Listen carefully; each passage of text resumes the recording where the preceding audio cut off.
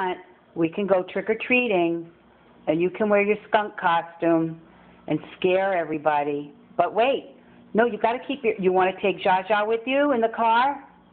And we'll go trick-or-treating? You wanna do that? You're gonna say, boo, I'm a skunk. You wanna be a skunky? How's that? Is that good? You wanna go? You wanna go with Mama? Yes.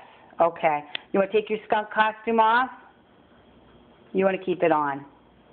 You want to keep your skunk costume on? Okay. Okay. Okay, pretty girl. Okay, mama's girl. Okay.